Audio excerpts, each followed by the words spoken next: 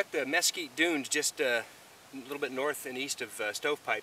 Found this really cool small little area that has a dead branch in the in the background and then we have a nice little bit of sand and a swirl up here in the foreground. And I've used uh, 11 to 18 lens at 11 millimeters with a polarizer on it. So I'm really making the foreground look big and that little branch back there looks like it's a mile away. And the sun, even though it's about 8.30, is still fairly low in the sky. So we're getting some really good direction to the light. And this is just pristine. The wind has blown out here recently and there's some really nice color. This is, this is awesome. Using the camera on a tripod, obviously. Uh, mirror lockup.